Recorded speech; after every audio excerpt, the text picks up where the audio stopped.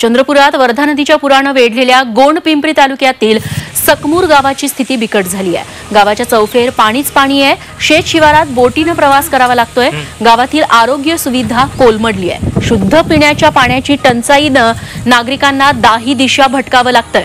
गावातील हजारो हेक्टर शेत जमीन सध्या पाण्याखाली गेली आहे. दरम्यान सरसकट मदतीची मागणी आता नुकसानग्रस्तांनी केली आहे.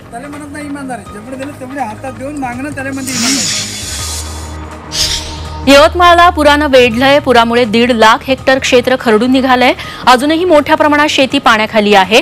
काही शेतामधलं पाणी ओसरलंय. मात्र या शेतातील माती वाहून गेल्यानं या ठिकाणी फक्त दगड धोंडेच उरलेले आहेत. त्यामुळे शेतकरी पुरता हवालदिल झालाय.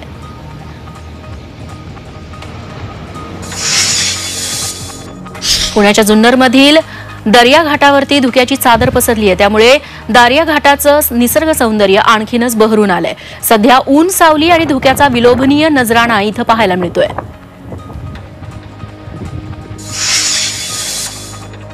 सततच्या पावसानं नाशिक जिल्ह्यातील धरणं ओव्हरफ्लो झाली आहेत. त्यामुळे सुरक्षेच्या दृष्टीनं गिरणा धरण पर्यटकांसाठी बंद करण्यात आलंय.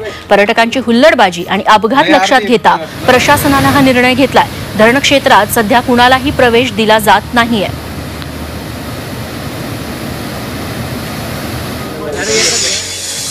छत्रपतींचा विचार म्हणजे